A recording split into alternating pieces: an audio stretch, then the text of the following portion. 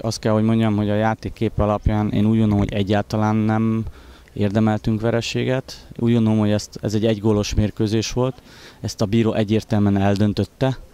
Nálunk egy-két játékos azért a, a tudása alatt játszott, de az nem azt jelenti, hogy, hogy, hogy nekünk itt ma ki kellett, hogy kapjunk. Mi előre nézünk, most is ugyanazt mondom, mint két héttel ezelőtt, meg egy hónap ezelőtt. A cél továbbra is a feljutás, és mindent meg fogunk tennek, tenni annak érdekében, hogy a legjobb eredményt érjük el, ahhoz, hogy föl tudjunk jutni. Sajnos ezekből a meccsekből tanulnunk kell. Szeretném megköszönni a szurkolóinknak, ahogy elkísértek bennünket, és tartsanak ki tovább, mert szép eredményeink lesznek.